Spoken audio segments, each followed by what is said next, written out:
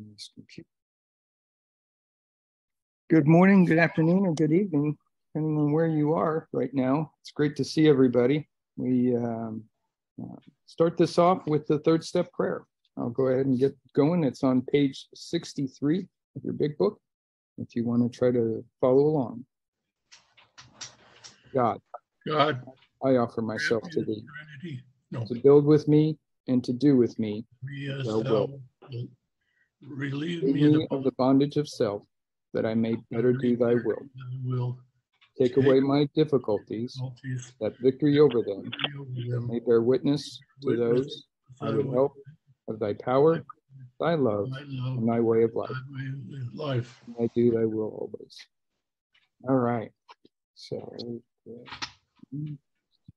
okay. So we are on page, we're at the very bottom of page 27 is where we're going to get started today. Um, and um, Bill is uh, graciously agreed to read for us. Uh, Rob is out. He's with his family, um, uh, enjoying some time uh, together with them. So um, we will uh, see him next um, next week.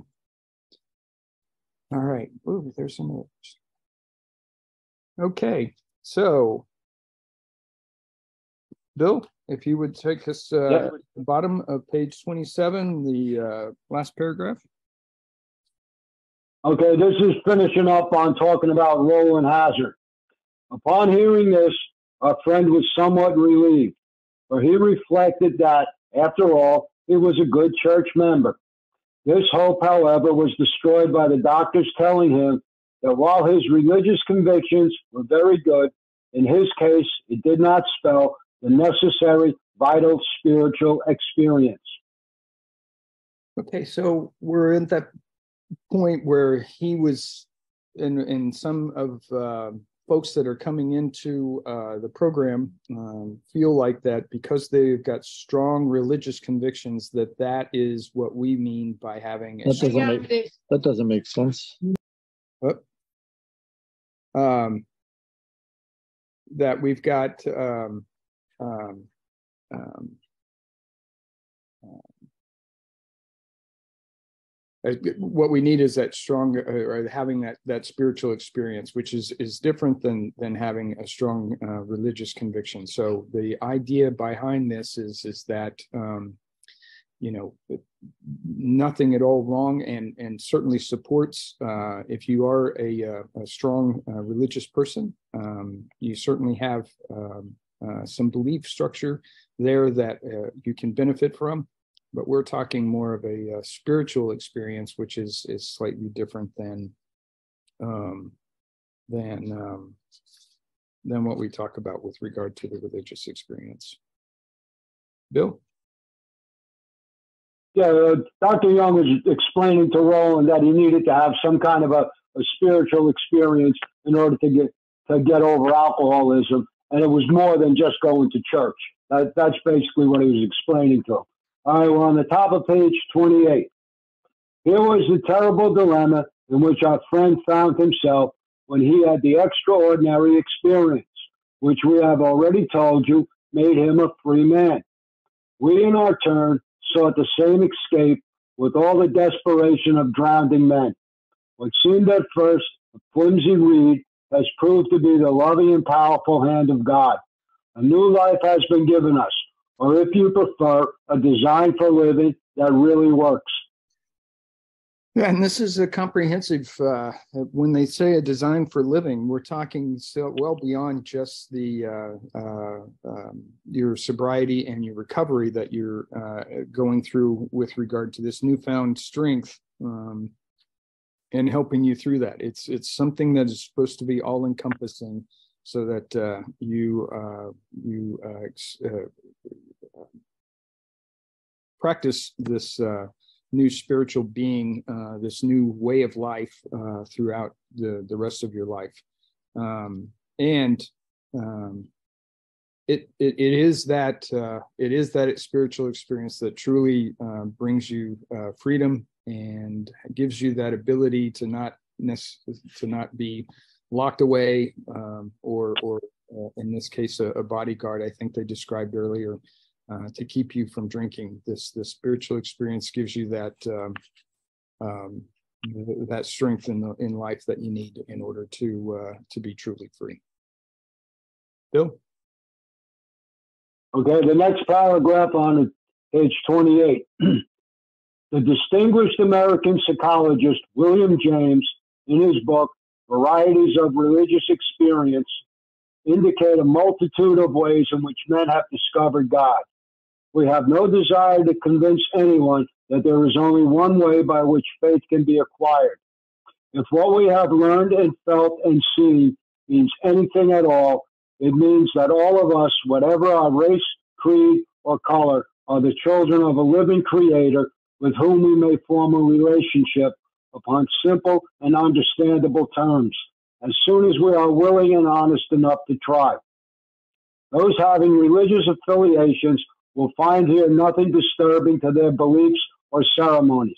There is no friction among us over such matters. So there's a couple of messages in here. One I think that I would highlight here is as soon as we are willing and honest enough to try, again, that's uh, uh, back to talking about, and we'll we'll get into this uh, a little bit more as we go forward. But um, there is a uh, a strong willingness uh, that it's it's honest, uh, true honesty, I guess is what I would say, where you are not necessarily being just honest with other people, but you're also being honest with yourself internally.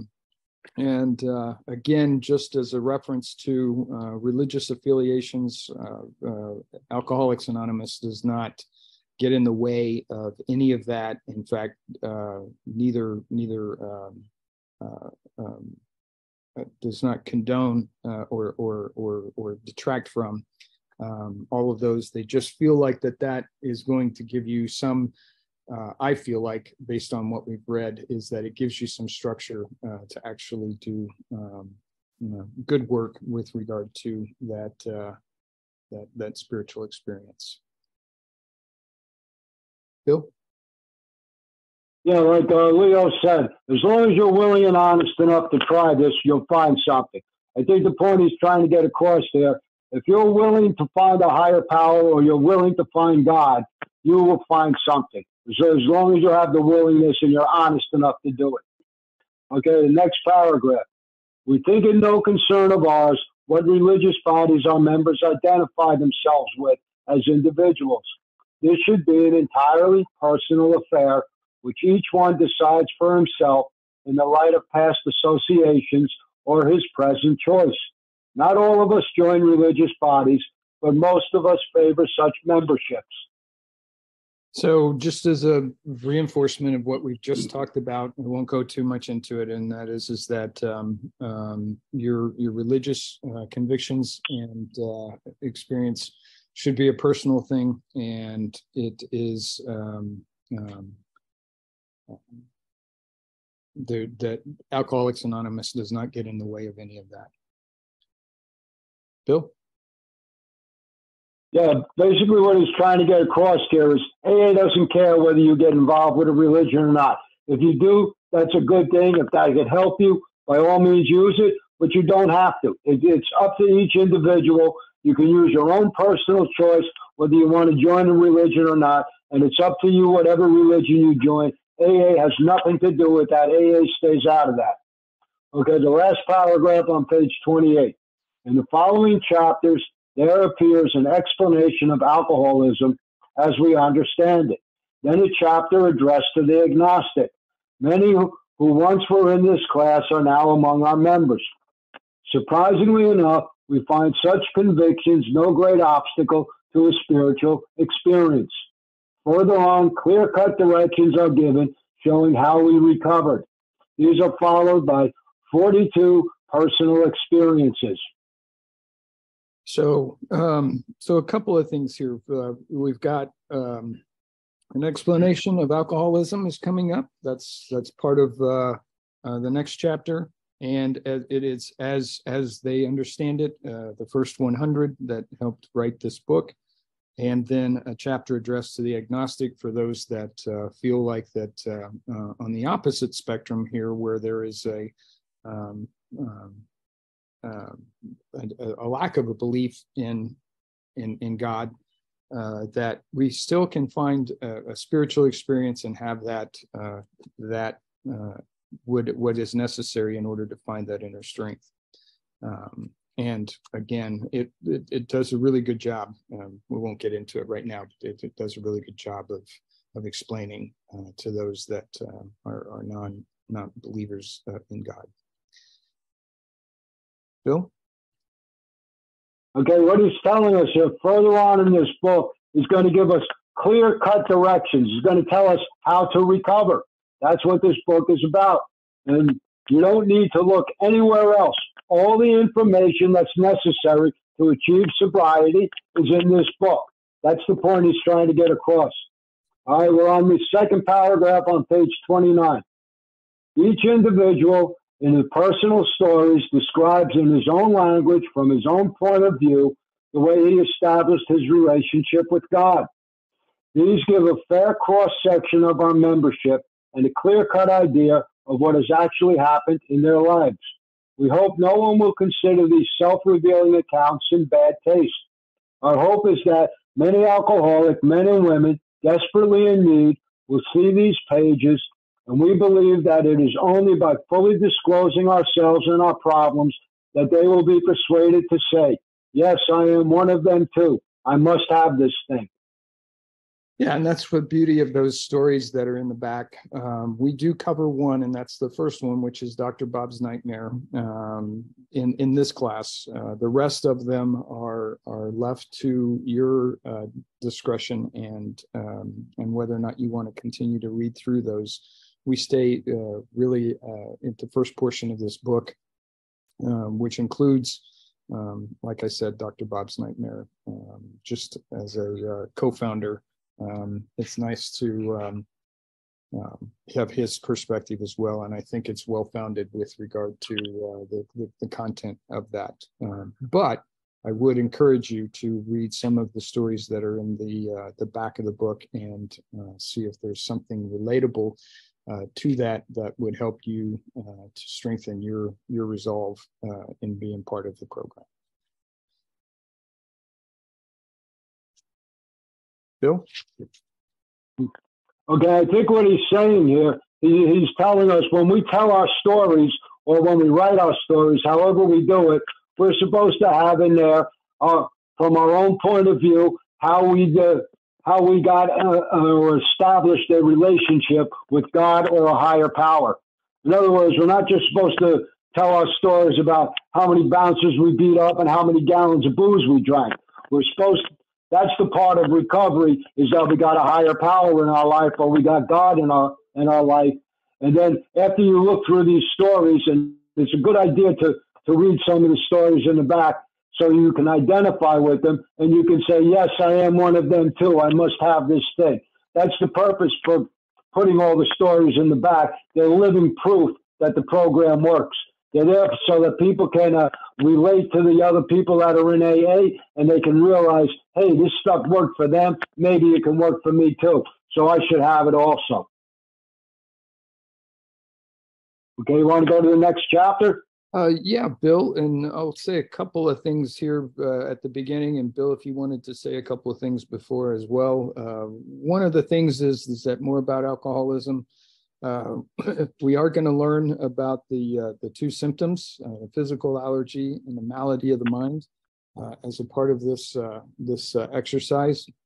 And I also wanted to kind of differentiate what we've what we sometimes hear is this obsession, the word obsession. Um, as it refers to the obsession within this book, and then we'll see in this paragraph, I'm, I'm sorry, this chapter, is that uh, there, there are a couple of obsessions, one of which is uh, on page uh, um, 23, and that is, is to stop drinking and stay stopped uh, uh, under your own self-will and self, uh, self knowledge. And the second obsession that we have um, is on page um, um, well, um, is, is, is on this page, and we're going to see this in the first uh, paragraph or so. And that is, is to drink like normal people and uh, be able to control your drinking, which is obviously impossible for uh, an alcoholic to do. So I just wanted to differentiate uh, these obsessions. There are two of them that are referred to in this book. One is to stop drinking and stay stopped under your own self will and self um, self knowledge, and the second one is to drink like normal people and be able to control your drinking um, uh, without uh, without any any um, um, uh, assistance there. We we kind of we lack the ability to do either of those. Uh, so I just wanted to um, to highlight that before we got started. Bill, Yeah, okay. This this chapter, like Leo said, it, it talks about the uh, the physical part and the mental part, and, it gives us some ideas here on on how to figure out these things. It's going to have two different tests in here, one for the physical part and one for the mental part, so that we can see and uh, understand whether or not we're alcoholics or not. This chapter helps a lot of people figure out whether or not they really are an alcoholic. And most people that I've dealt with like this chapter the best because it's got a lot of good information. It's got like three or four different little stories in here that people can relate to. All right, let me start reading it. Chapter three, more on alcoholism. Most of us have been unwilling to admit we were real alcoholics. No person likes to think he is bodily and mentally different from his fellows. Therefore, it is not surprising that our drinking careers have been characterized by countless vain attempts to prove we could drink like other people. The idea that somehow, someday, he will control and enjoy his drinking is the great obsession of every abnormal drinker. The persistence of this illusion is astonishing. Many pursue it in the gates of insanity or death. Yeah, so it's a uh, it, it's a it's a hard thing, and it, I I believe that as we are uh, transitioning from a, a, a tr- you know a, a true alcoholic life uh, to one of recovery, that the last bastion of uh, of uh, of uh, holdout, if you will, with regard to us, is that honest assessment and uh, an admission that we are truly powerless over alcohol and that we truly uh, have a problem and need and, and need some help. Um, uh, so point by uh, I'm trying to make here is is that um, it, it is it's really hard to admit that and once we have admitted it and and, and we've done it honestly uh, and we've let go of these obsessions that we just talked about. Uh, in this case, uh, the one that's being referred to in this is to be able to control and enjoy our drinking like other people or like normal people. Um, is is really uh, is really a, a, huge milestone for us to to to cross once we've admitted it. Um, and um, if if not, then uh, many of us, uh, you know, as serious as alcoholism is, um, um, has has uh, we'll find ourselves uh, uh, dying from alcoholism. So it's a very serious thing that we're talking about here. Bill, Yeah, I, I think the point Bill's trying to get across to us here, he says most alcoholics are unwilling to admit that they're real alcoholics. So, in other words, uh, not some of us, most of us won't admit that we're alcoholics. Alcoholics don't walk around drinking saying, Yeah, I'm an alcoholic, give me another drink. Most of us won't admit it, or we can't admit it, or we don't know it. So he's telling us most of us are, we either don't know it or we're in denial, we won't admit it, whatever. And then he talks about this obsession to control and enjoy the drinking. If you're an alcoholic, you cannot control and enjoy your drinking. Those two things don't go together when you're an alcoholic. If you're controlling your drinking, you're only going to have one or two, and you're not going to enjoy it. You're going to be miserable if you try to do that. And if you're enjoying it, you're drinking completely out of control. The only way I ever enjoyed drinking is when I was drinking out of control. And if I tried to enjoy it, I was miserable. So you can't, if you're an alcoholic, you can't do both of those things. All right, the next paragraph. We learned that we had to fully concede to our innermost selves that we were alcoholics. This is the first step in recovery. The delusion that we are like other people, or presently maybe, has to be smashed. Okay, so this is that point, that admission to yourself, not not to others. Um, that is is secondary in in in regards to the um, first step of recovery. It is that that full admission to yourself that you're powerless over alcohol and that you um, are in need of um, uh, help is is and and this whole uh, this whole idea uh, has to be smashed. And they they use some fairly strong words here. I think that they're appropriate. Um, and uh, it is that first step in, in in recovery that you have to take, and that is that full 100% admission to yourself that you are um, uh, alcoholic, and that uh, um, to to fully concede uh, to to the idea and uh, and concept uh, is, is is is is necessary. Bill. Yeah, this, this here is known as the first step question. People turn this into a question. We learned that we had to fully concede to our innermost selves that we were alcoholic. You could turn that into a question. Do I concede to my innermost self that I'm alcoholic? And then this is where the book is telling us this is the first step. This is the instructions for doing the first step. Concede means to to admit. We we admitted we were powerless over alcohol. That's what step one says. And here it's just saying we're conceding to ourselves that we were alcoholic. It means the same thing. If you don't admit it to yourself, and you don't have to admit it to anybody else at this point, just admit it to yourself. If you don't do that, you haven't done step one. That's how you do step one. You have to admit it to yourself. And the delusion that we're like other people must be smashed. When you do step one, step one is what helps smash that delusion that you can drink like other people. If you admit that you're powerless over alcohol or you admit that you're an alcoholic, that's when you can honestly believe that you you can't drink like other people. That's what smashes it. Step one smashes that idea or that delusion. And a delusion means a false opinion or a false belief. And we believe that we can drink like other people, and that's just not true for us. If you really are an alcoholic, you're not going to be able to drink like other people. No matter how much willpower you use or how much thinking to drink through, it's just not going to work. Okay, the next paragraph on page 30. We alcoholics are men and women who have lost the ability to control our drinking.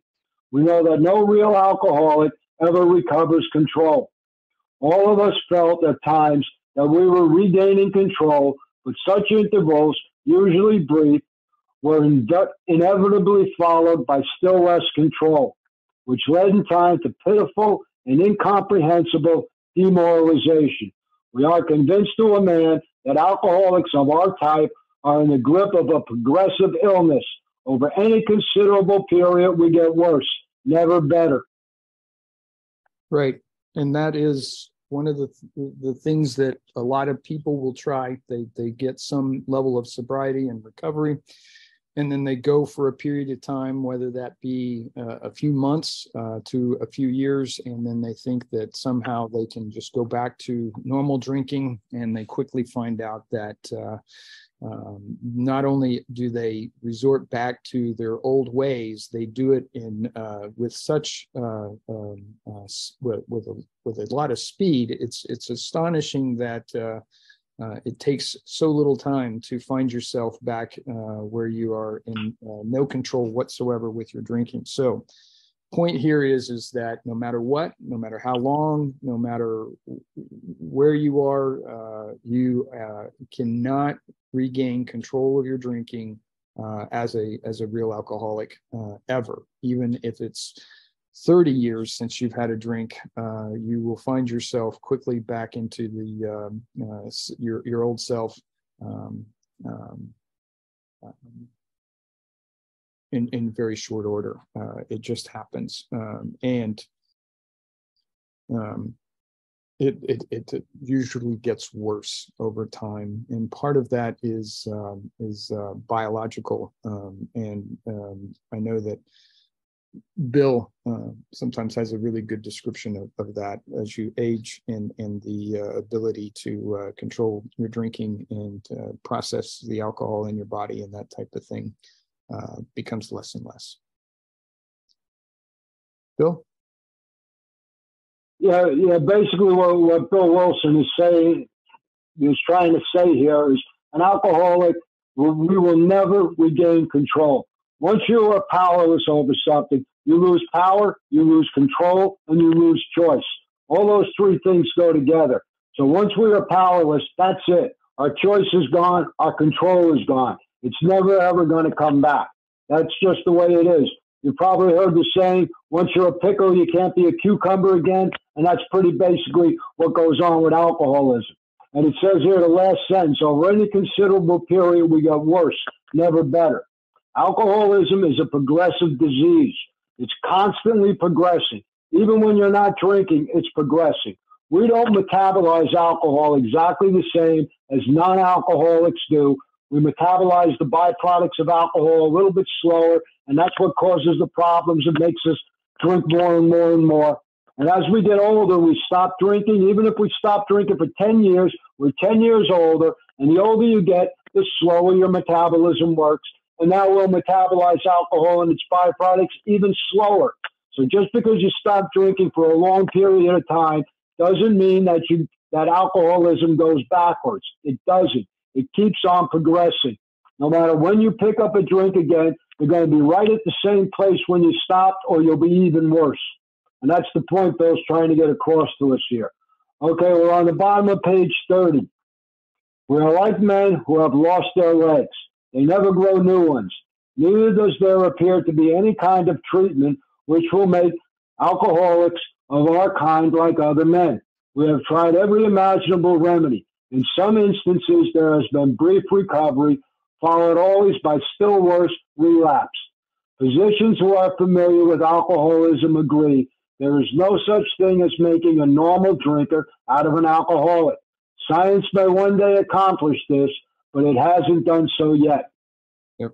And that's just basically what Bill just described. And that is, is that there's just no way, uh, once you're an alcohol, you know, you've got your, your alcoholism has the, as a grip on you. It always has a grip on you and that, uh, um, there's no, um, no way of going back and, and being able to control your drinking uh, beyond just a brief interlude of, of that that first uh, period of time. I, as a relapser, um, had had in the past tried to uh, control my drinking, and uh, I quickly I quickly fell back into uh, my old ways, and um, and was finally convinced that uh, there's just no way I can go back to drinking and uh, ever recover uh, any any semblance of control. Well, yeah, pretty much he's saying here, once you're a pickle, you're going to be a pickle. You, you can't go backwards and be a cucumber. You can't unscramble scrambled eggs. Once you're an alcoholic, that's it. You're going to be an alcoholic. And there might be brief recovery at sometimes, and, and it's going to always be followed by worse relapse. So if you sit sober for a period of time and you think now you're all better and you're not a pickle anymore, you pick up a drink, you're going to have a worse relapse. It's going to keep on going worse and worse. And there's no such thing as making a normal drinker out of an alcoholic. Once you're an alcoholic, you're always going to be an alcoholic. It doesn't go backwards. And science might accomplish this, but it hasn't done so yet. So all the medical science, all the researchers, they have not come up with a way to reverse alcoholism. Once you get it, you have it, and that's that. All right, we're on the first new paragraph on page 31. Despite all we can say, many who are real alcoholics are not going to believe they are in that class. By every form of self deception and experimentation, they will try to prove themselves exceptions to the rule, therefore, non alcoholic. If anyone who is showing an inability to control his drinking can do the right about face and drink like a gentleman, our hats are off to him. Heaven knows we have tried hard enough and long enough to drink like other people. Yeah, I don't know. Uh, I, I, I don't know hardly an alcoholic out there that hasn't gone out and tried to control uh, their drinking, either while they're drinking uh, on a regular basis, and it's picking up a drink and saying, Today's the day that I am going to drink like normal people, and I am going to stop after two drinks, or I'm going to stop after three drinks, whatever that number is that's on the low end. Um, certainly, uh, if you sit there and say that you're going to stop after 10 drinks, you're you're you're you're really not uh, um, doing what is uh, uh what we're talking about here. But the the the, the whole idea uh, that uh, um, you you can go back after uh, some level of uh, you know white knuckling it as i would say uh, for a few days and then deciding that today's the day i'm going to drink like a normal person. Uh, the fact is is that the person before you start drinking is a different person than when you actually start drinking and that once you start drinking that alcohol enters your body it enters your mind and it alters your whole uh, being uh, to the point that uh, you find yourself once you've started drinking saying that you're going to control it all of a sudden you're going to hear yourself trying to justify why that next drink is going to be okay and that uh, you're going to be just fine and that everything is working out. And then before you know it you're you're off to the races and the problems uh, that you've experienced before come uh, rushing back and there you are. Um, but um, I'm just saying that uh, based on what the book is saying, that the real alcoholic uh, cannot go out and and actually uh, control their drinking, and uh, those that are able to control their drinking and actually do that are not necessarily they're not not real alcoholics or they're they're way ahead of the game. Um, and again, like the book says, uh, our hats are off to them. So um, there we are. Bill. Yeah, Bill Wilson's trying to drive home this point. He's reiterating it, saying it over and over again. The first sentence in this chapter, he said, Most of us have been unwilling to admit we were real alcoholics. Now, the first sentence in this paragraph here on page 31, he says, Despite all we can say, many who were who are real alcoholics are not going to believe they are in that class. He's telling us over and over again the alcoholic won't believe they're an alcoholic. We're the last ones to know. We we just won't admit it, or we can't admit it, or we won't believe it. We, we, that's part of this disease. We have a disease that tells us we don't have a disease. And by every form of self deception and experimentation, in other words, we lie to ourselves, we deceive ourselves, we tell ourselves it's not my fault, it's those people I was drinking with. It's not the alcohol, it's that brand I was drinking. I have to switch brands, or I have to go drink in a different bar, or I have to drink with different people. We constantly keep coming up with different excuses and, and different reasons, and we try to blame it on everybody else. We don't want to admit that we're alcoholics. Okay, the next paragraph on page 31, the second new paragraph. Here are some of the methods we have tried drinking beer only, limiting the number of drinks, never drinking alone, never drinking in the morning, drinking only at home, never having it in the house, never drinking during business hours, drinking only at parties, switching from scotch to brandy, drinking only natural wines, agreeing to resign if ever drunk on the job, taking a trip, not taking a trip, swearing off forever with or without a solemn oath, taking more physical exercise, reading inspirational books, going to health farms and sanitariums, accepting voluntary commitment to asylums. We can increase the list ad infinitum. Yeah. So all of the excuses, all of the the ways that we're going to try to control our drinking. This is a great starter list. Um, but each of us could come up with at least five to ten other uh, uh, other ways that we are going to actually try and control our drinking uh, in regards to um, uh, making those uh, the, the, setting ourselves up for essentially setting ourselves up for failure. Um, but um, I, I uh, there had been uh, points where you um, not hard liquor, but just beer and wine, or not not not beer and hard liquor, just wine. Uh, these it just it, it ends up that you drink the whole bottle of wine or you end up drinking you know more beer in order to get to that that uh, that drunken state. And that's where you end up with um, and or trying to control that you're only going to do two uh, hard liquor drinks um, and um, and that doesn't work either um, period. It just doesn't work. No matter what what what we try to set ourselves up for they just don't work. Bill Yeah, Bill, Bill Wilson's given us here so some different methods that they were using. They were trying. This is back in the 1930s. This is what Bill tried, and the other people, the, the pioneers of AA. These are all the different things they tried, and most of us have done the same thing. The, this alcoholism is the same for, for us as it was for them. We come up with all different kinds of ideas and schemes or whatever so that we can continue to drink. We think we're going to figure out a way to drink and not get drunk. If you're an alcoholic, we can't do that. He talks about switching to beer only. That doesn't work. I'm not a beeraholic. I'm not a whiskeyaholic. I'm, I'm not a vodkaaholic. I'm an alcoholic. Anything with alcohol in it is going to set me off and cause the phenomenon of cravings, and I'm going to overdo it till I get drunk. And that's basically the point he's trying to get across. No matter whatever you try, whatever ideas you come up with, it's not going to work if you're one of us. All right, we're on the last paragraph on page 31. We do not like to pronounce any individual as alcoholic, but you can quickly diagnose yourself. Step over to the nearest bar room and try some controlled drinking. Try to drink and stop abruptly. Try it more than once. It will not take long for you to decide if you are honest with yourself about it. It may be worth a bad case of the jitters if you get a full knowledge of your condition. Yeah, so uh, this approach uh, is best known as the um, Marty Mann test. Marty Mann also has her story uh, on page 200 of, of our, our big book. It's uh, Women Suffer Too.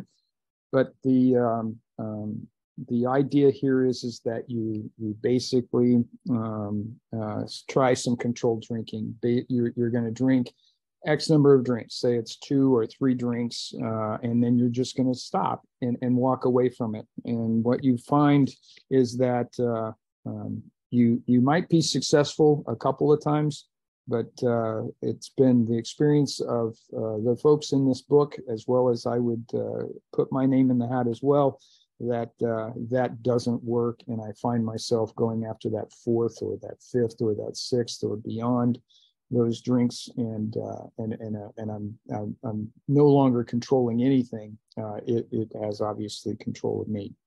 So um, that's the idea here. So it's uh, um, this this approach is called the Marty Mann test, M A N N, and uh, again, her story is on page two hundred. Bill. Yeah, uh, like Leo said, this is the Marty Mann test, and the purpose of this is to show you the craving. If you can take a drink or one or two drinks and stop and not want any more, you're supposed to do this for six months.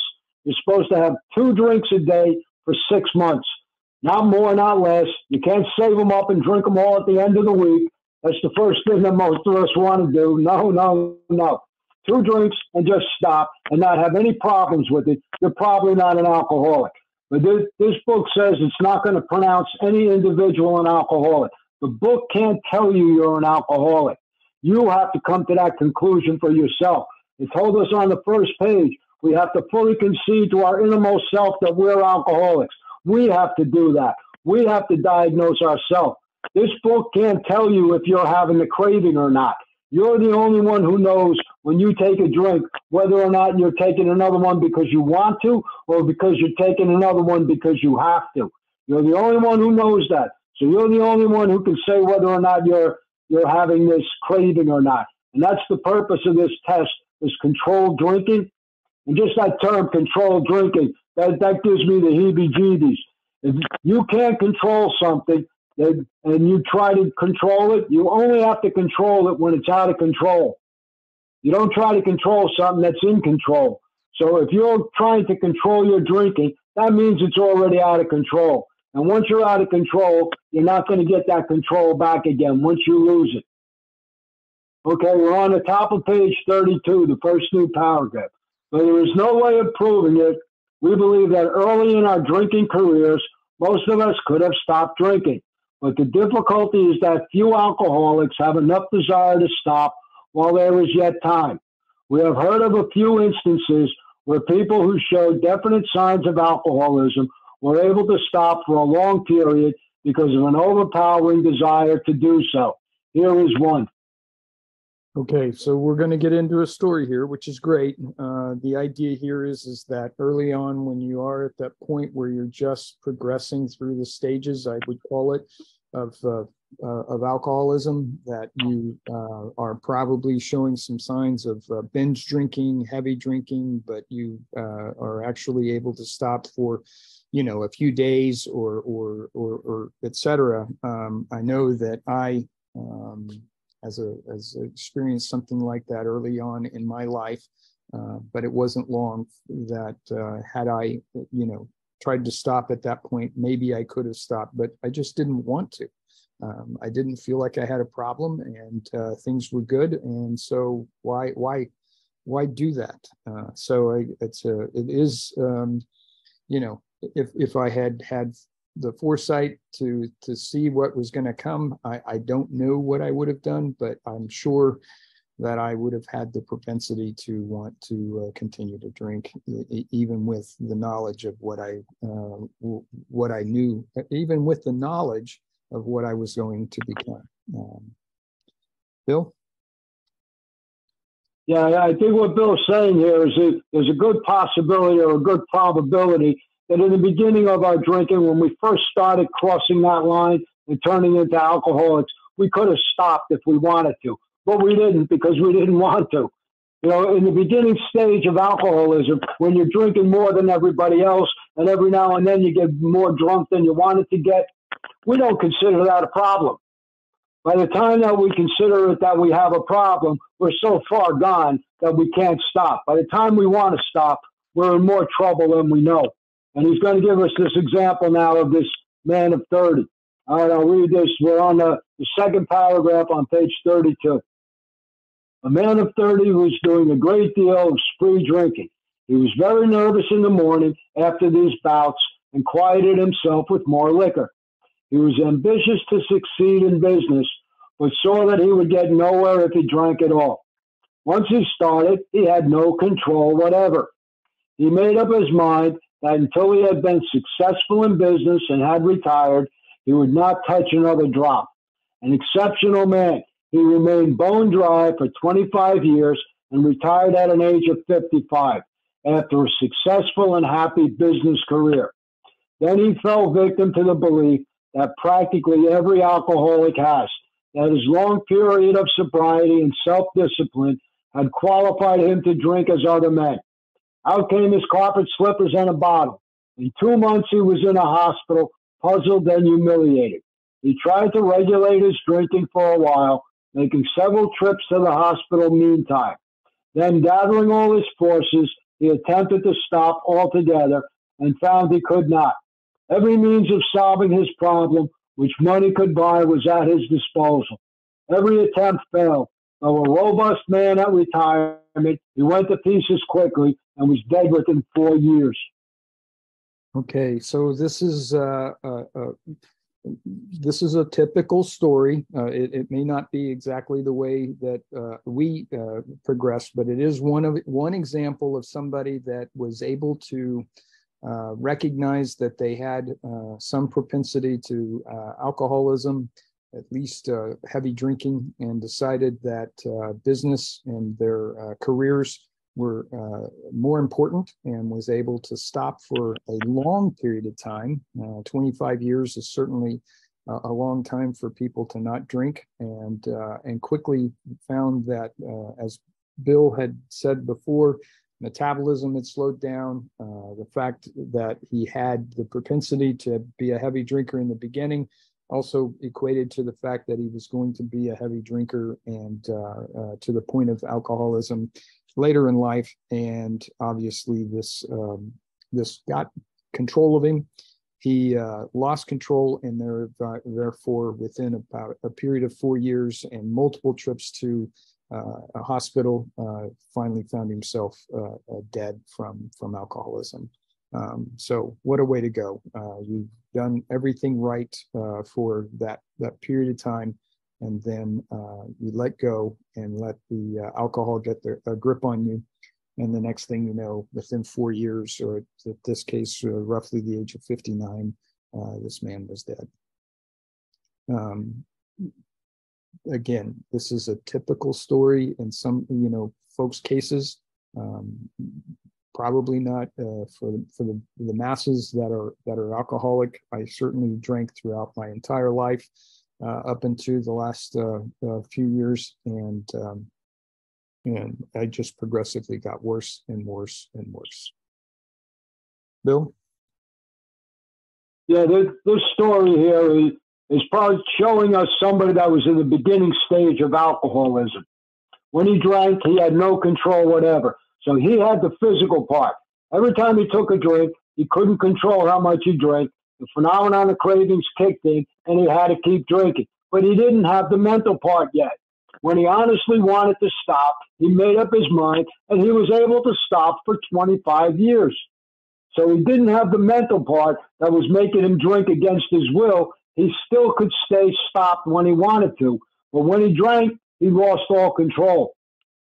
Then it talks about, it says he fell victim to the belief which practically every alcoholic has that his long period of sobriety and self discipline had qualified him to drink as other men.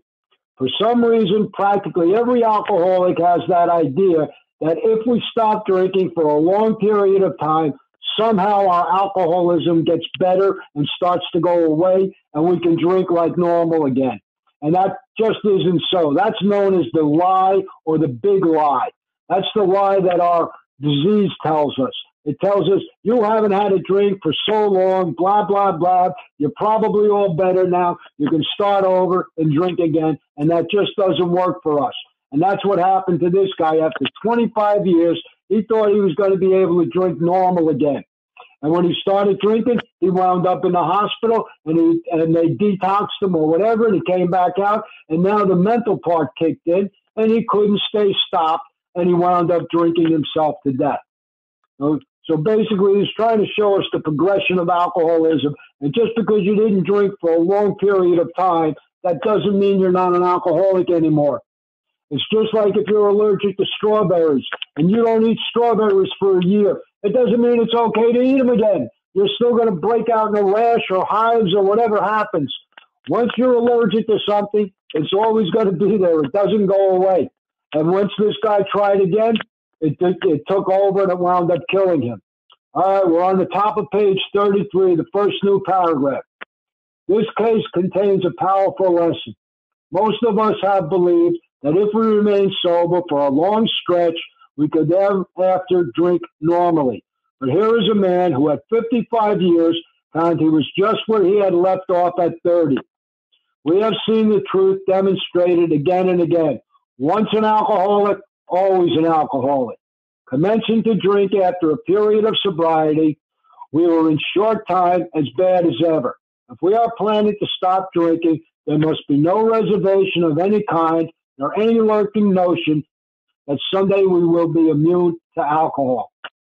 Okay, so really a strong paragraph here. Uh, a couple of highlighted areas. Most of us have believed that if we remain sober for a long stretch, we could thereafter drink normally. Uh, obviously, is a misnomer and uh, uh one that we need to heed. Uh, this uh, the advice that's being presented in the book, and and this one sentence once an alcoholic always an alcoholic that that that phrase or statement is is uh, rings true for all of us. And then at the very end here if we are planning to stop drinking and this is really a big uh, a big deal for us uh, there must be no reservation of any kind nor of any lurking notion that someday we will be immune to alcohol Bill was stating it, you've got that allergy, and once you start drinking, that allergy kicks in, and you are incapable of stopping um, uh, your drinking, and you find yourself uh, in in a, in a in a bad state uh, in short order. So, really powerful paragraph here.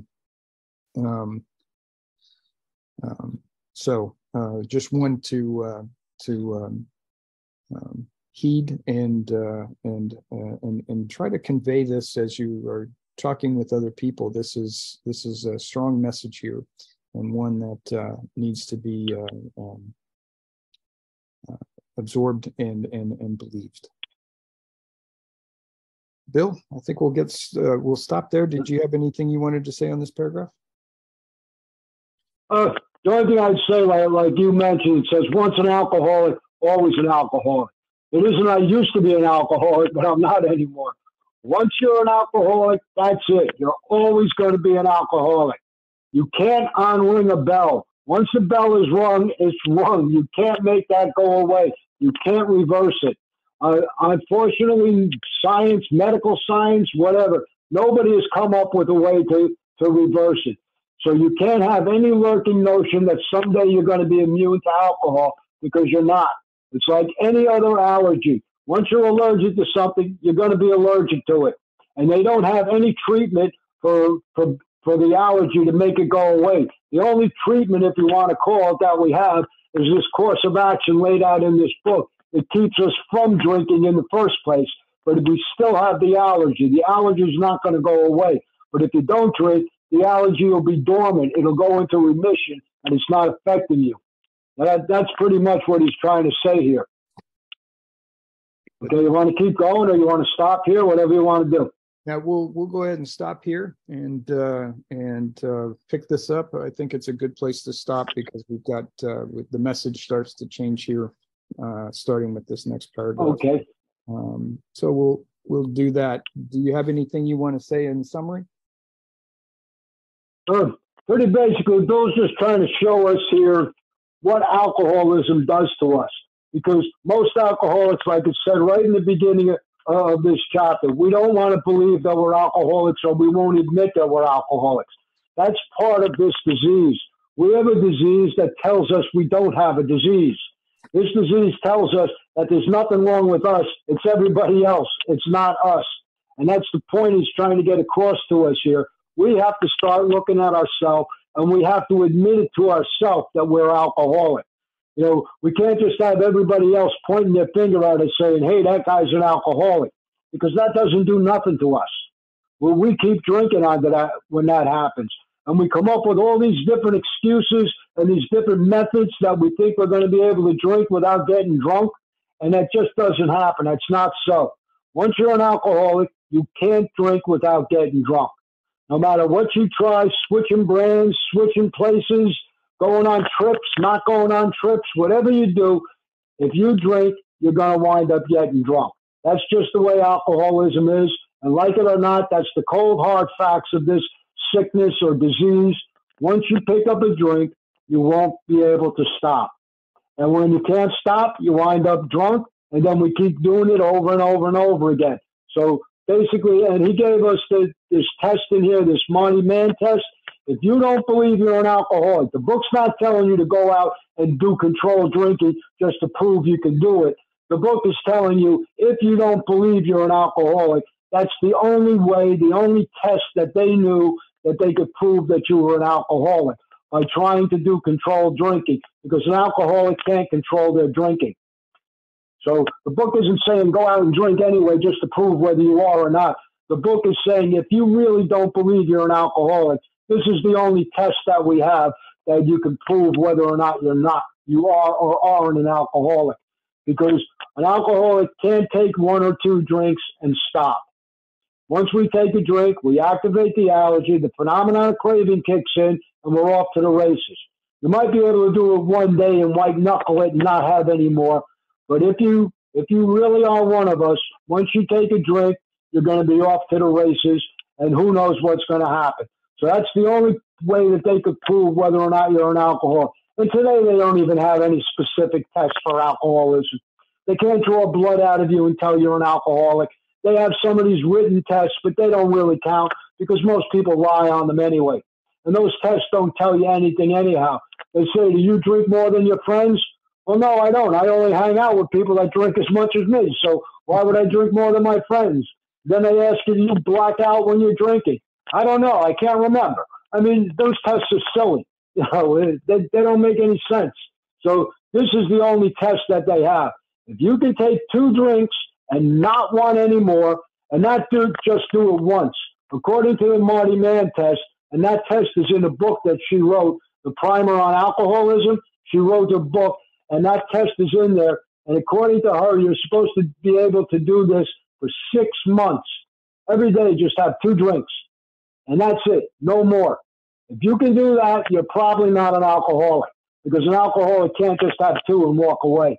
And once we do, if we try that and we can't do that, and we don't have to go out and do this test because most of us have tried controlled drinking when we were out there. We tried, I'm only going to have one or two today. Yeah. And how many times were we able to do that? That's why we're here.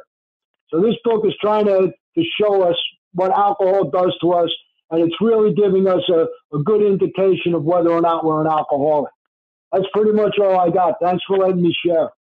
Thank you, Bill. I really appreciate the um, the, um, the dialogue and the uh, input. It's it's incredibly uh, uh, appropriate and powerful. All right, let's go ahead and close out with the Serenity Prayer. God, grant me the serenity to accept the things I cannot change, the courage to change the things I can, and the wisdom to know the difference.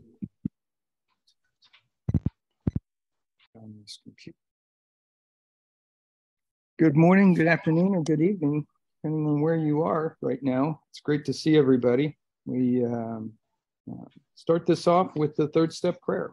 I'll go ahead and get going. It's on page 63 of your big book if you want to try to follow along. God, God, I offer myself to thee No, to build with me and to do with me, as thou wilt. Relieve me me of the bondage of self, that I may better do thy will. Take away my difficulties, Difficulties, that victory over them victory over them. may bear witness to those I would help of thy power, thy love, and way of life. thy way of life. I do thy will always. All right. So, okay. So we are on page, we're at the very bottom of page 27 is where we're going to get started today. Um, and um, Bill is uh, graciously agreed to read for us. Uh, Rob is out. He's with his family, um, uh, enjoying some time uh, together with them. So um, we will uh, see him next um, next week. All right. Ooh, there's some others. Okay, so Bill, if you would take us uh, Yeah. the bottom of page 27, the uh, last paragraph. Okay, this is finishing up on talking about Rowland Hazard. Upon hearing this, our friend was somewhat relieved, for he reflected that, after all, he was a good church member. This hope, however, was destroyed by the doctors telling him that while his religious convictions were very good, in his case, it did not spell the necessary vital spiritual experience.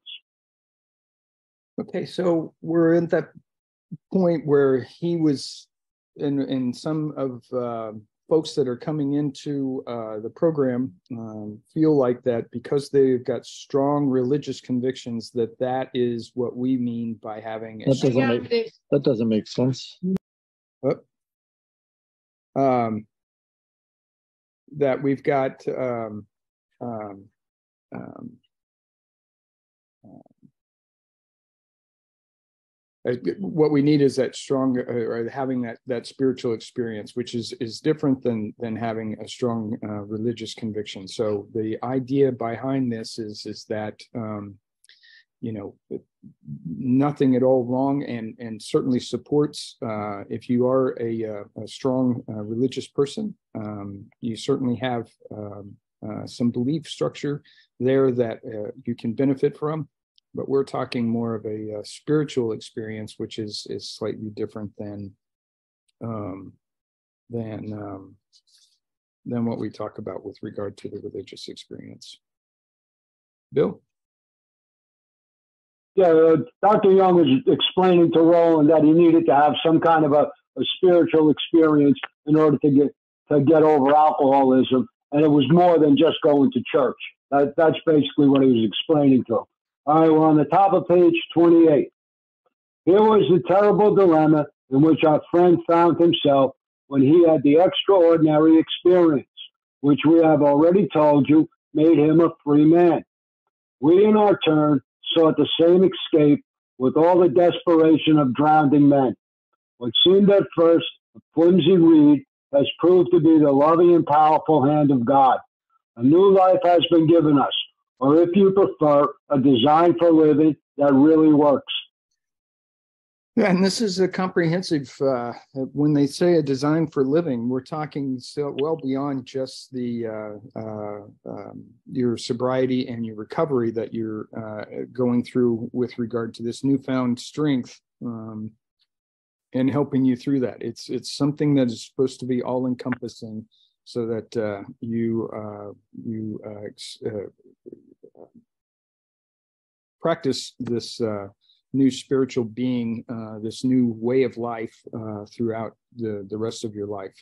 Um, and um, it, it, it is that uh, it is that spiritual experience that truly uh, brings you uh, freedom and gives you that ability to not to not be locked away um, or or uh, in this case a, a, bodyguard I think they described earlier uh, to keep you from drinking. This this spiritual experience gives you that um, um, that strength in the in life that you need in order to uh, to be truly free. Bill. Okay, the next paragraph on page 28. the distinguished American psychologist William James, in his book Varieties of Religious Experience, indicate a multitude of ways in which men have discovered God. We have no desire to convince anyone that there is only one way by which faith can be acquired.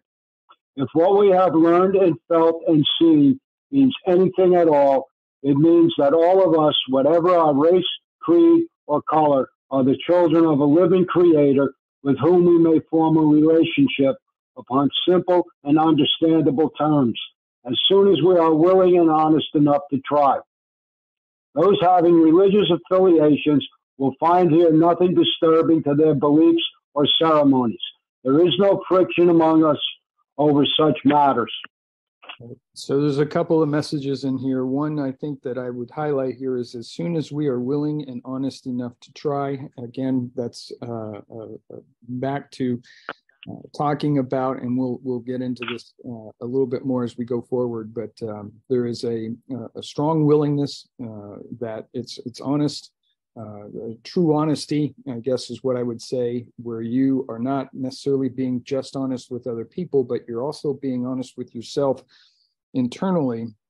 And uh, again, just as a reference to uh, religious affiliations, uh, uh, Alcoholics Anonymous does not get in the way of any of that. In fact, neither neither um, um, uh, does not condone uh, or, or, or, or detract from um, all of those. They just feel like that that is going to give you some, uh, I feel like based on what we've read, is that it gives you some structure uh, to actually do um, you know, good work with regard to that, uh, that, that spiritual experience. Bill? Yeah, like uh, Leo said, as long as you're willing and honest enough to try this, you'll find something.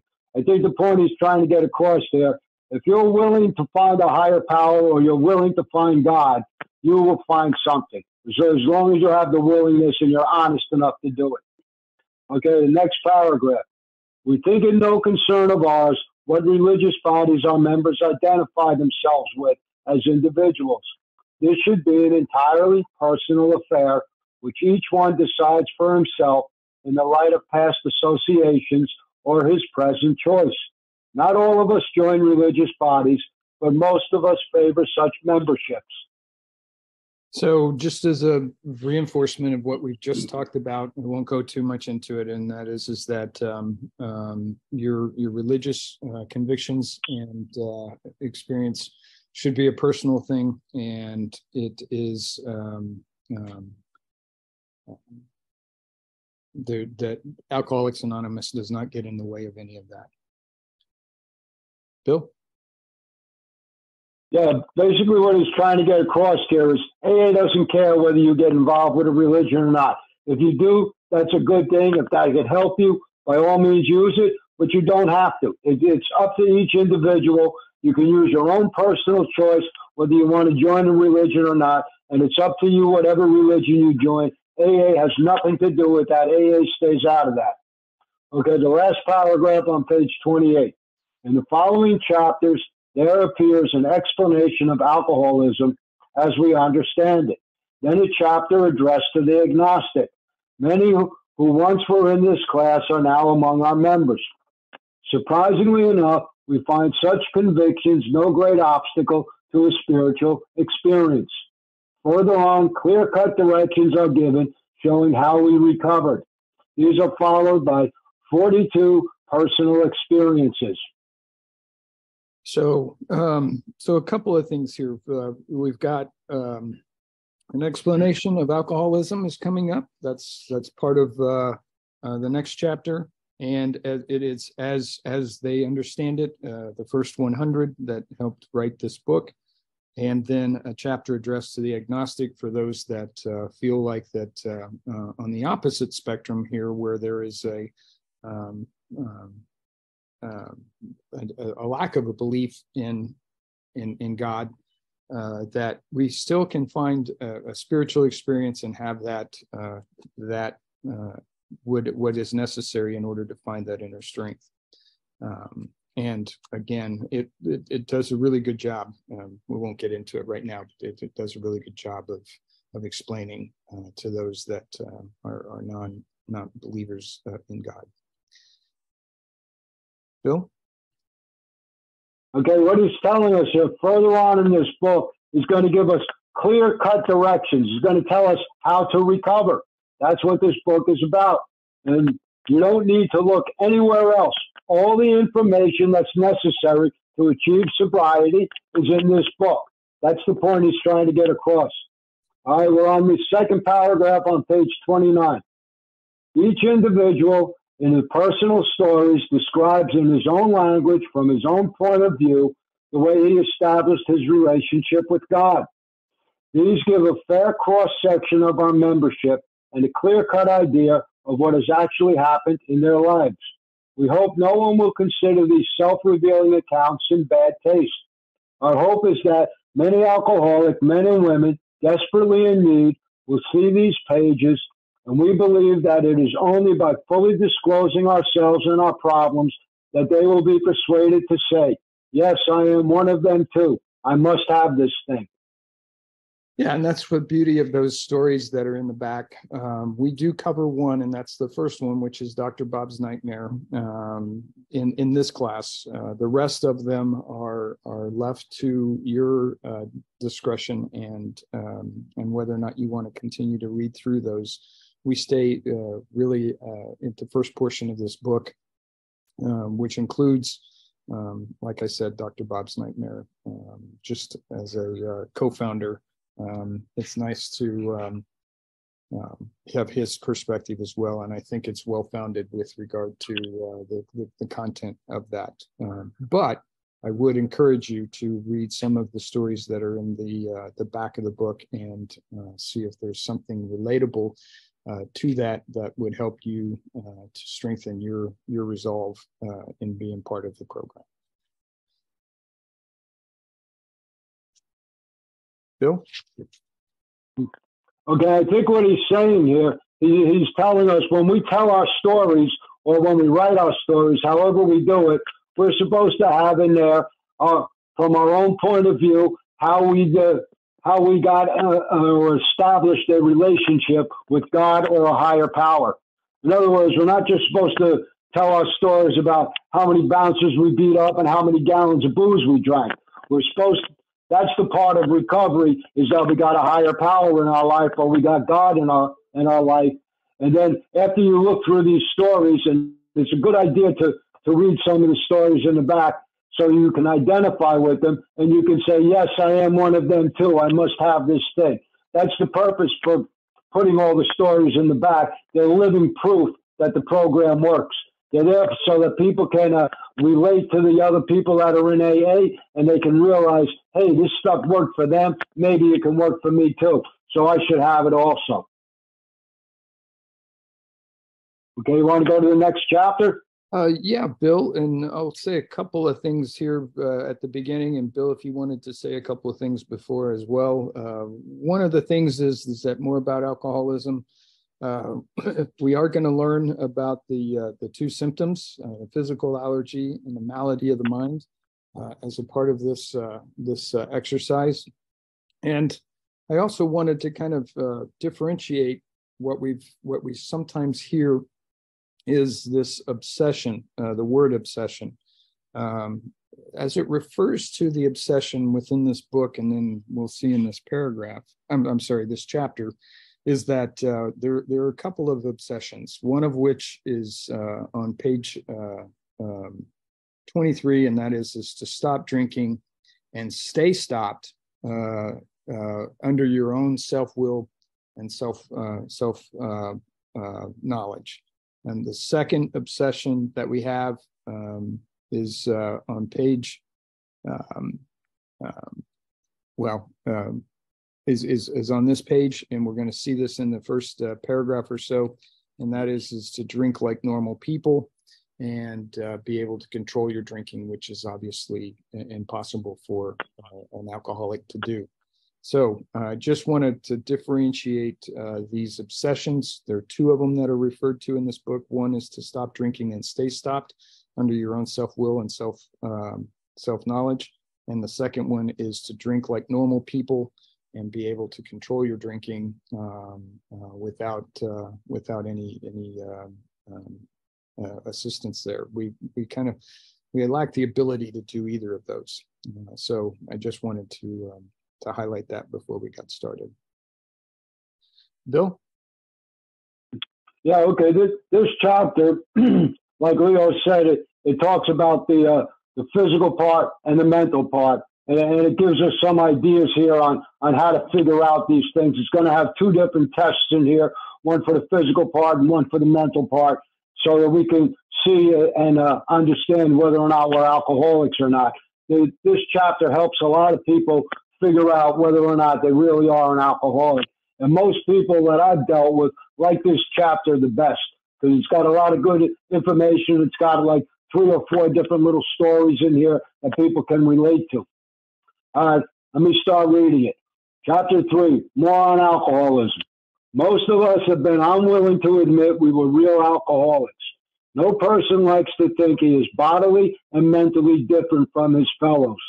Therefore, it is not surprising that our drinking careers have been characterized by countless vain attempts to prove we could drink like other people. The idea that somehow, someday, he will control and enjoy his drinking is the great obsession of every abnormal drinker. The persistence of this illusion is astonishing. Many pursue it in the gates of insanity or death.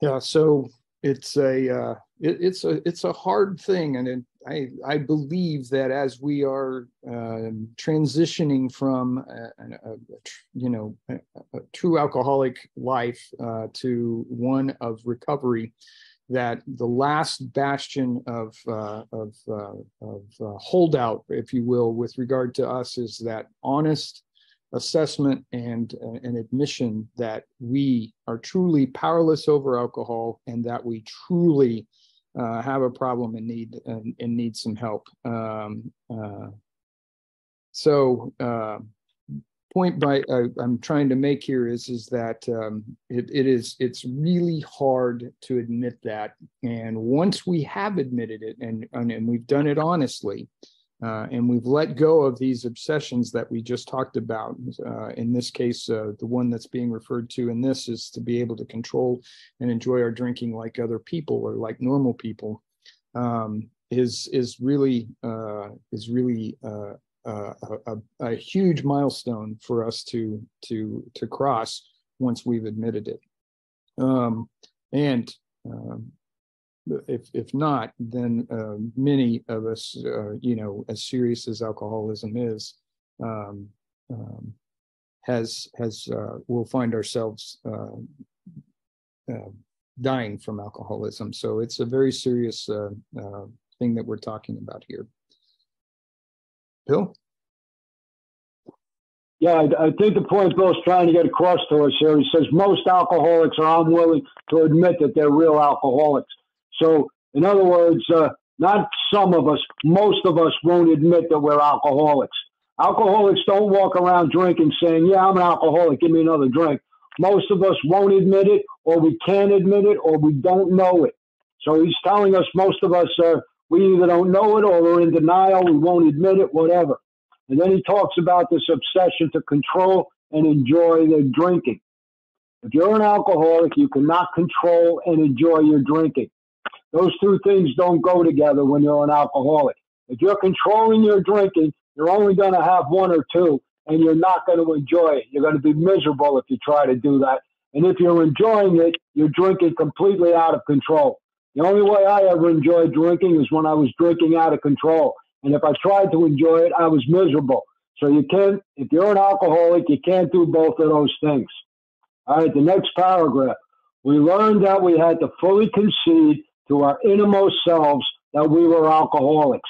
This is the first step in recovery. The delusion that we are like other people, or presently maybe, has to be smashed. Okay, so this is that point, that admission to yourself, not not to others. Um, that is is secondary in in in regards to the um, first step of recovery. It is that that full admission to yourself that you're powerless over alcohol and that you um, are in need of um, uh, help is is and and this whole uh, this whole idea uh, has to be smashed. And they they use some fairly strong words here i think that they're appropriate. Um, and uh, it is that first step in, in in recovery that you have to take and that is that full 100% admission to yourself that you are um, uh, alcoholic and that uh, um, to to fully concede uh, to to the idea and uh, and concept uh, is, is is is is necessary. Bill. Yeah, this, this here is known as the first step question. People turn this into a question. We learned that we had to fully concede to our innermost selves that we were alcoholic. You could turn that thing into a question. Do I concede to my innermost self that I'm alcoholic? And then this is where the book is telling us this is the first step. This is the instructions for doing the first step. Concede means to, to admit. We, we admitted we were powerless over alcohol. That's what step one says. And here it's just saying we're conceding to ourselves that we were alcoholic. It means the same thing. If you don't admit it to yourself, and you don't have to admit it to anybody else at this point, just admit it to yourself. If you don't do that, you haven't done step one. That's how you do step one. You have to admit it to yourself. And the delusion that we're like other people must be smashed. When you do step one, step one is what helps smash that delusion that you can drink like other people. If you admit that you're powerless over alcohol, or you admit that you're an alcoholic, that's when you can honestly believe that you you can't drink like other people. That's what smashes it. Step one smashes that idea or that delusion. And a delusion means a false opinion or a false belief. And we believe that we can drink like other people, and that's just not true for us. If you really are an alcoholic, you're not going to be able to drink like other people. No matter how much willpower you use or how much thinking to drink through, it's just not going to work. Okay, the next paragraph on page 30. We alcoholics are men and women who have lost the ability to control our drinking. We know that no real alcoholic ever recovers control. All of us felt at times that we were regaining control, but such intervals, usually brief, were inevitably followed by still less control, which led in time to pitiful and incomprehensible demoralization. We are convinced to a man that alcoholics of our type are in the grip of a progressive illness. Over any considerable period, we get worse, never better. Right.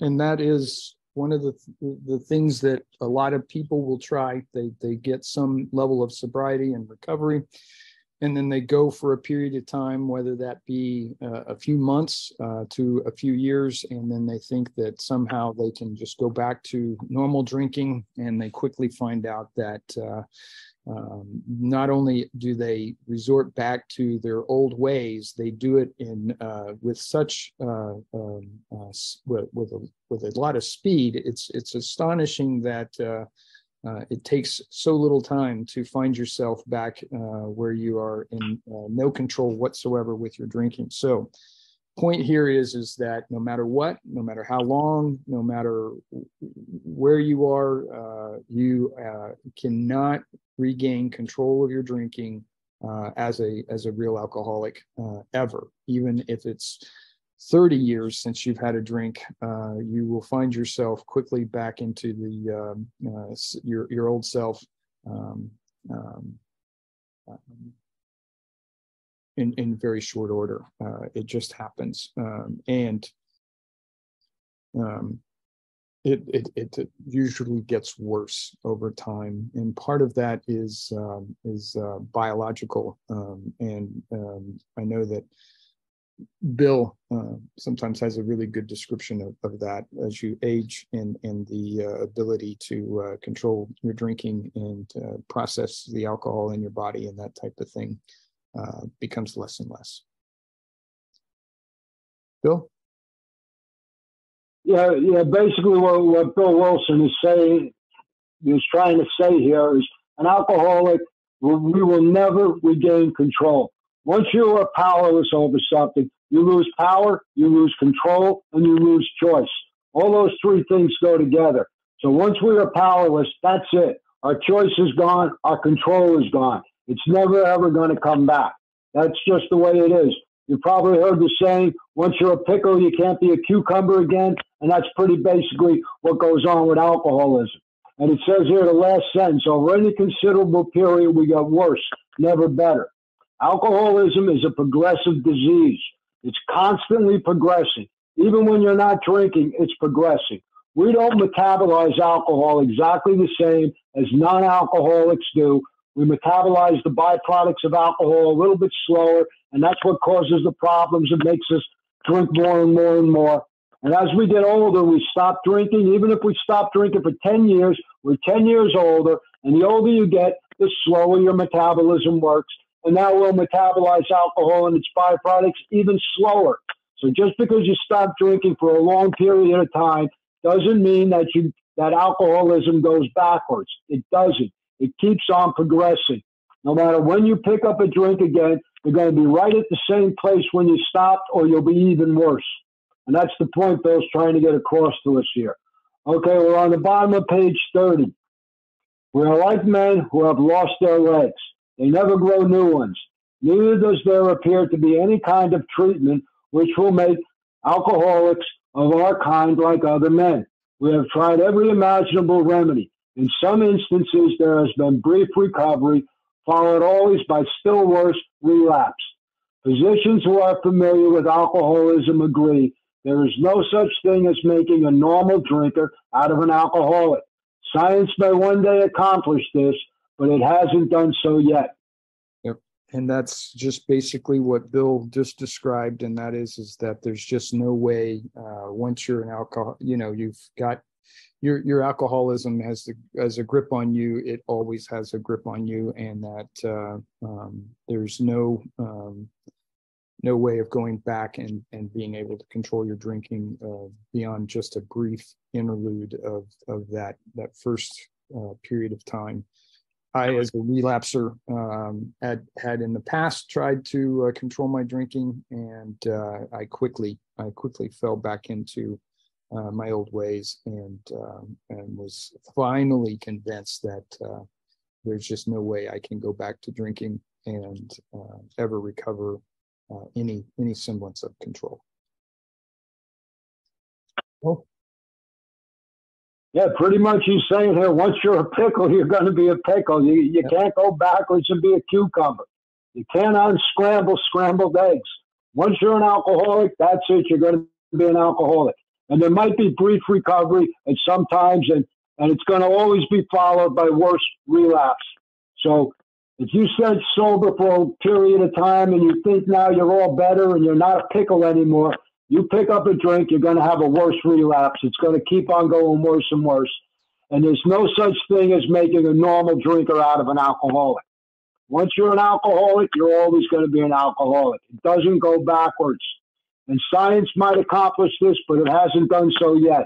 So all the medical science, all the researchers, they have not come up with a way to reverse alcoholism.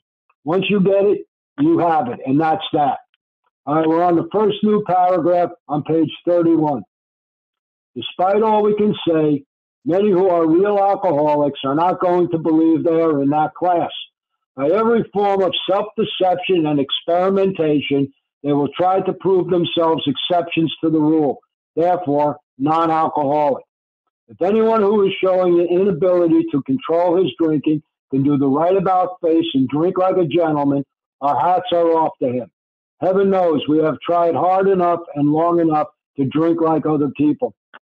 Yeah, I don't know. Uh, I, I, I don't know hardly an alcoholic out there that hasn't gone out and tried to control uh, their drinking, either while they're drinking uh, on a regular basis and it's picking up a drink and saying today's the day that i am going to drink like normal people and i am going to stop after two drinks or i'm going to stop after three drinks whatever that number is that's on the low end um, certainly uh, if you sit there and say that you're going to stop after 10 drinks you're you're you're you're really not uh, um, doing what is uh, uh, what we're talking about here. But the the the, the whole idea uh, that uh, um, you you can go back after uh, some level of uh, you know white knuckling it, as I would say, uh, for a few days, and then deciding that today's the day I'm going to drink like a normal person. the fact is is that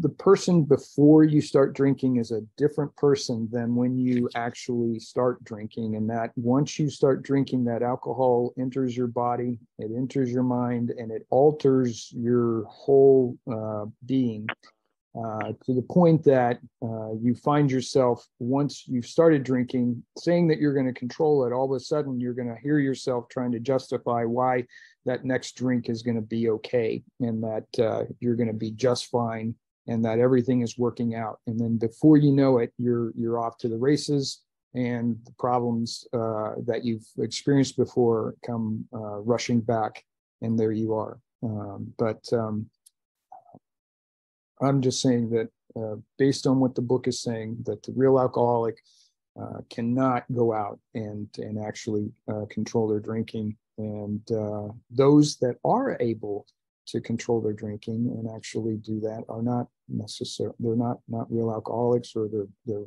way ahead of the game. Um, and again like the book says uh, our hats are off to them. So um, there we are. Bill yeah bill wilson's trying to drive home this point he's reiterating it saying it over and over again the first sentence in this chapter he said most of us have been unwilling to admit we were real alcoholics. Now, the first sentence in this paragraph here on page 31, he says, despite all we can say, many who were who are real alcoholics are not going to believe they are in that class. He's telling us over and over again the alcoholic won't believe they're an alcoholic. We're the last ones to know. We we just won't admit it, or we can't admit it, or we won't believe it. We, we, that's part of this disease. We have a disease that tells us we don't have a disease.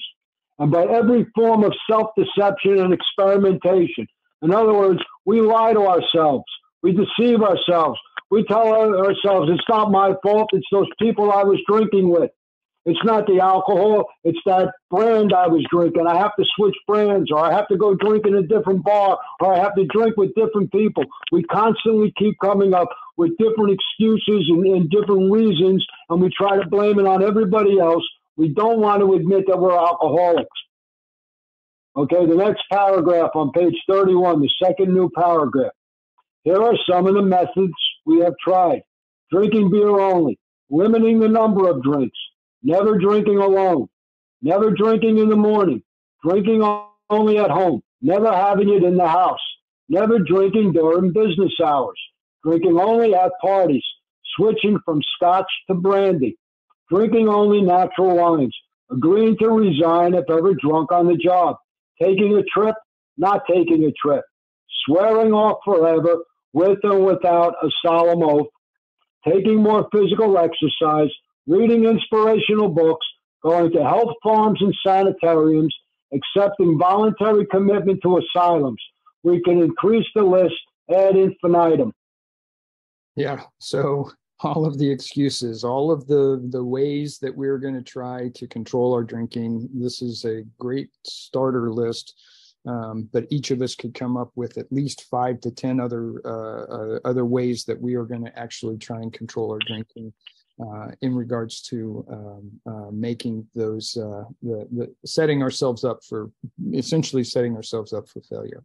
Um, but um, I, I uh, there had been uh, points where you uh, not hard liquor but just beer and wine or not not not beer and hard liquor just wine uh, these it just it, it ends up that uh, you drink the whole bottle of wine or you end up drinking you know more beer in order to get to that that uh, that drunken state. And that's where you end up with um, and or trying to control that you're only going to do two uh, hard liquor drinks um, and um, and that doesn't work either um, period. It just doesn't work. No matter what what what we try to set ourselves up for they just don't work. Bill Yeah, Bill, Bill Wilson's given us here so some different methods that they were using. They were trying. This is back in the 1930s. This is what Bill tried, and the other people, the, the pioneers of AA. These are all the different things they tried, and most of us have done the same thing. This alcoholism is the same for, for us as it was for them. We come up with all different kinds of ideas and schemes or whatever so that we can continue to drink. We think we're going to figure out a way to drink and not get drunk. If you're an alcoholic, we can't do that. He talks about switching to beer only. That doesn't work. I'm not a beeraholic. I'm not a whiskeyaholic. I'm, I'm not a vodkaaholic. I'm an alcoholic. Anything with alcohol in it is going to set me off and cause the phenomenon of cravings, and I'm going to overdo it till I get drunk. And that's basically the point he's trying to get across. No matter whatever you try, whatever ideas you come up with, it's not going to work if you're one of us. All right, we're on the last paragraph on page 31. We do not like to pronounce any individual as alcoholic, but you can quickly diagnose yourself. Step over to the nearest bar room and try some controlled drinking. Try to drink and stop abruptly. Try it more than once. It will not take long for you to decide if you are honest with yourself about it. It may be worth a bad case of the jitters if you get a full knowledge of your condition. Yeah, so uh, this approach uh, is best known as the um, Marty Mann test. Marty Mann also has her story uh, on page 200 of, of our, our big book. It's uh, Women Suffer Too. But the um, um, the idea here is is that you you basically um, uh, try some controlled drinking. You're, you're going to drink X number of drinks, say it's two or three drinks, uh, and then you're just going to stop and, and walk away from it. And what you find is that uh, um, you you might be successful a couple of times, but uh, it's been the experience of uh, the folks in this book, as well as I would uh, put my name in the hat as well, that uh, that doesn't work, and I find myself going after that fourth or that fifth or that sixth or beyond those drinks and uh, and and uh, and I'm, I'm, I'm no longer controlling anything. Uh, it it has obviously control of me. So um, that's the idea here. So it's uh, um, this this approach is called the Marty Mann test, M A N N, and uh, again her story is on page two hundred. Bill. Yeah, the, uh, like Leo said, this is the Marty Mann test, and the purpose of this is to show you the craving. If you can take a drink or one or two drinks and stop and not want any more, you're supposed to do this for six months. You're supposed to have two drinks a day for six months, not more, not less. You can't save them up and drink them all at the end of the week. That's the first thing that most of us want to do. No, no, no. Two drinks and just stop and not have any problems with it. You're probably not an alcoholic. But this, this book says it's not going to pronounce any individual an alcoholic. The book can't tell you you're an alcoholic. You have to come to that conclusion for yourself. It told us on the first page we have to fully concede to our innermost self that we're alcoholics. We have to do that. We have to diagnose ourselves. This book can't tell you if you're having the craving or not. You're the only one who knows when you take a drink whether or not you're taking another one because you want to or because you're taking another one because you have to. You're the only one who knows that. So you're the only one who can say whether or not you're you're having this craving or not. And that's the purpose of this test is controlled drinking. And just that term controlled drinking, that, that gives me the heebie jeebies. If you can't control something and you try to control it, you only have to control it when it's out of control. You don't try to control something that's in control. So if you're trying to control your drinking, that means it's already out of control. And once you're out of control, you're not going to get that control back again once you lose it. Okay, we're on the top of page 32, the first new paragraph. But there is no way of proving it. We believe that early in our drinking careers, most of us could have stopped drinking. But the difficulty is that few alcoholics have enough desire to stop while there is yet time. We have heard of a few instances where people who showed definite signs of alcoholism were able to stop for a long period because of an overpowering desire to do so. Here is one. Okay, so we're going to get into a story here, which is great. Uh, the idea here is is that early on, when you are at that point where you're just progressing through the stages, I would call it, of uh, uh, of alcoholism, that you uh, are probably showing some signs of uh, binge drinking, heavy drinking, but you uh, are actually able to stop for, you know, a few days or or or, or etc. Um, I know that I. Um, as a as experienced something like that early on in my life, uh, but it wasn't long that uh, had I you know tried to stop at that point, maybe I could have stopped, but I just didn't want to. Um, I didn't feel like I had a problem, and uh, things were good, and so why why why do that? Uh, so I, it's a it is um, you know if if I had had the foresight to to see what was going to come. I, I don't know what I would have done, but I'm sure that I would have had the propensity to want to uh, continue to drink, even with the knowledge of what I uh, what I knew, even with the knowledge of what I was going to become. Um, Bill. Yeah, I think what Bill's saying here is that there's a good possibility or a good probability that in the beginning of our drinking, when we first started crossing that line and turning into alcoholics, we could have stopped if we wanted to, but we didn't because we didn't want to. You know, in the beginning stage of alcoholism, when you're drinking more than everybody else, and every now and then you get more drunk than you wanted to get, we don't consider that a problem. By the time that we consider it that we have a problem, we're so far gone that we can't stop. By the time we want to stop, we're in more trouble than we know. And he's going to give us this example now of this man of 30. All right, I'll read this. We're on the, the second paragraph on page 32. A man of 30 was doing a great deal of spree drinking. He was very nervous in the morning after these bouts and quieted himself with more liquor. He was ambitious to succeed in business, but saw that he would get nowhere if he drank at all. Once he started, he had no control whatever. He made up his mind that until he had been successful in business and had retired, he would not touch another drop. An exceptional man, he remained bone dry for 25 years and retired at an age of 55 after a successful and happy business career. Then he fell victim to the belief that practically every alcoholic has, that his long period of sobriety and self discipline had qualified him to drink as other men. Out came his carpet slippers and a bottle. In two months, he was in a hospital, puzzled and humiliated. He tried to regulate his drinking for a while, making several trips to the hospital meantime.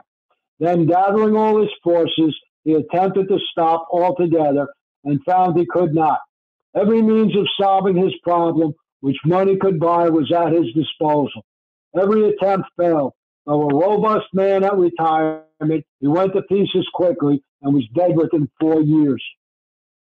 Okay, so this is uh, uh, uh, this is a typical story. Uh, it, it may not be exactly the way that uh, we uh, progressed, but it is one of one example of somebody that was able to uh, recognize that they had uh, some propensity to uh, alcoholism, at least uh, heavy drinking, and decided that business and their careers were more important and was able to stop for a long period of time. Uh, 25 years is certainly a long time for people to not drink and uh, and quickly found that uh, as Bill had said before, metabolism had slowed down. Uh, the fact that he had the propensity to be a heavy drinker in the beginning also equated to the fact that he was going to be a heavy drinker and to the point of alcoholism later in life, and obviously this um, this got control of him. He uh, lost control, and there, uh, therefore, within about a period of four years and multiple trips to uh, a hospital, uh, finally found himself uh, uh, dead from from alcoholism. Um, so, what a way to go! you've done everything right for that that period of time and then uh, you let go and let the uh, alcohol get the, a grip on you. And the next thing you know, within four years, or in this case, uh, roughly the age of 59, uh, this man was dead.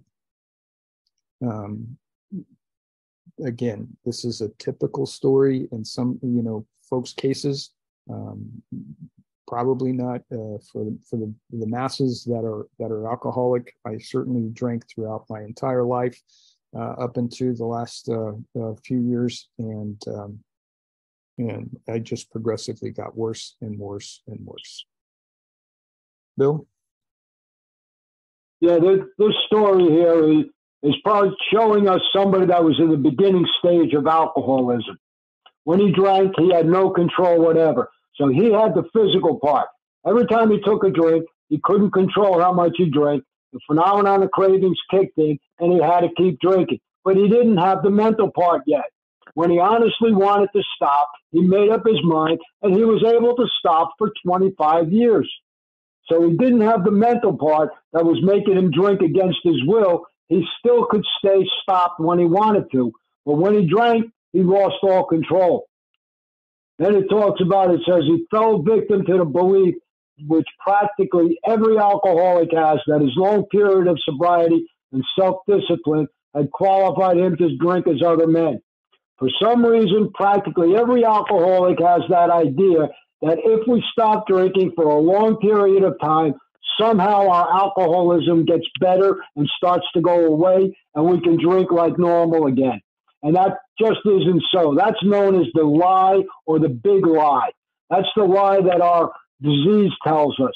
It tells us you haven't had a drink for so long, blah, blah, blah. You're probably all better now. You can start over and drink again. And that just doesn't work for us. And that's what happened to this guy after 25 years. He thought he was going to be able to drink normal again. And when he started drinking, he wound up in the hospital and he and they detoxed him or whatever, and he came back out. And now the mental part kicked in, and he couldn't stay stopped and he wound up drinking himself to death. So basically, he's trying to show us the progression of alcoholism. And just because you didn't drink for a long period of time, that doesn't mean you're not an alcoholic anymore.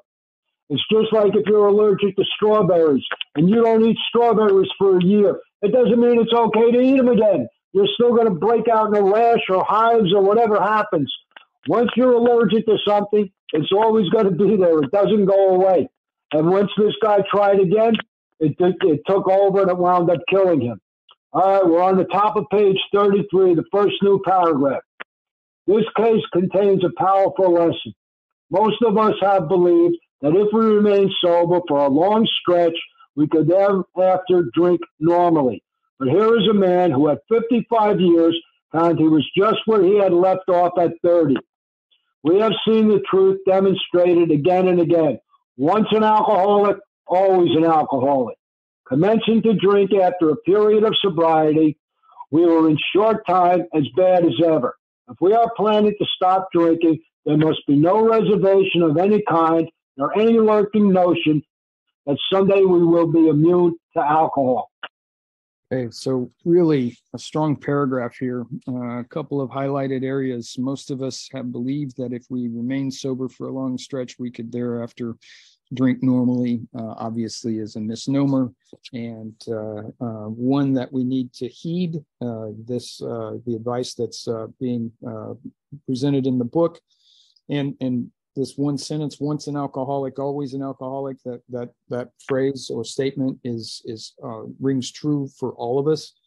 And then at the very end here if we are planning to stop drinking and this is really a big uh, a big deal for us uh, there must be no reservation of any kind nor of any lurking notion that someday we will be immune to alcohol as Bill was stating it, you've got that allergy, and once you start drinking, that allergy kicks in, and you are incapable of stopping um, uh, your drinking, and you find yourself uh, in in a, in a in a bad state uh, in short order.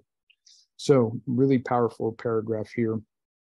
Um, um, so, uh, just one to uh, to um, um, heed and uh, and uh, and and try to convey this as you are talking with other people. This is this is a strong message here, and one that uh, needs to be uh, um, uh, absorbed and and and believed.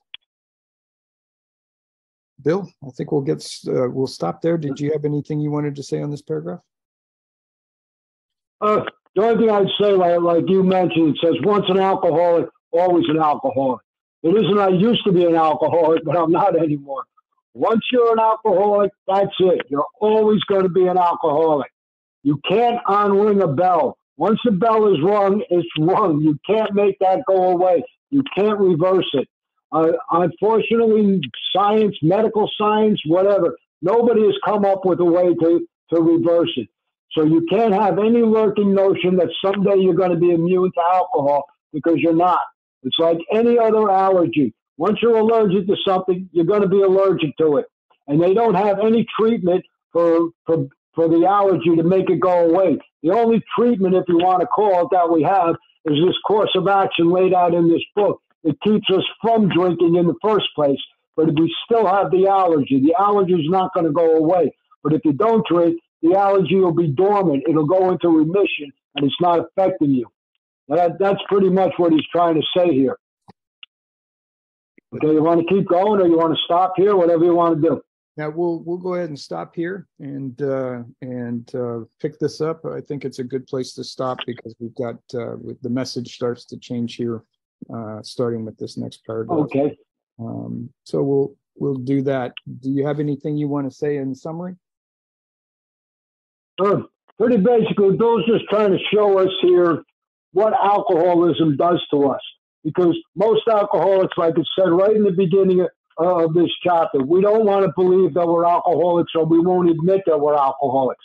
That's part of this disease. We have a disease that tells us we don't have a disease.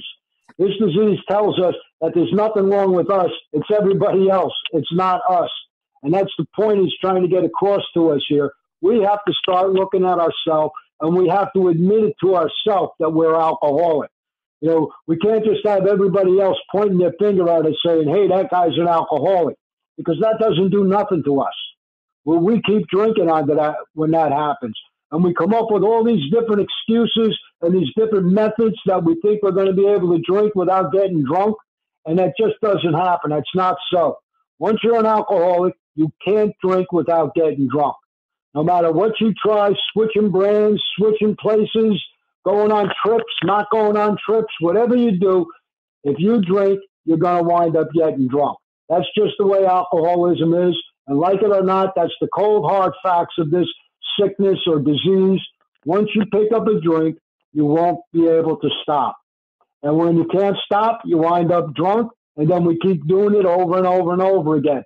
So basically, and he gave us the, this test in here, this Marty Mann test. If you don't believe you're an alcoholic, the book's not telling you to go out and do controlled drinking just to prove you can do it. The book is telling you if you don't believe you're an alcoholic, that's the only way, the only test that they knew that they could prove that you were an alcoholic by trying to do controlled drinking because an alcoholic can't control their drinking. So the book isn't saying go out and drink anyway just to prove whether you are or not. The book is saying if you really don't believe you're an alcoholic, this is the only test that we have that you can prove whether or not you're not, you are or aren't an alcoholic. Because an alcoholic can't take one or two drinks and stop. Once we take a drink, we activate the allergy, the phenomenon of craving kicks in, and we're off to the races. You might be able to do it one day and white knuckle it and not have any more. But if you if you really are one of us, once you take a drink, you're going to be off to the races, and who knows what's going to happen. So that's the only way that they could prove whether or not you're an alcoholic. And today they don't even have any specific tests for alcoholism. They can't draw blood out of you and tell you're an alcoholic. They have some of these written tests, but they don't really count because most people lie on them anyway.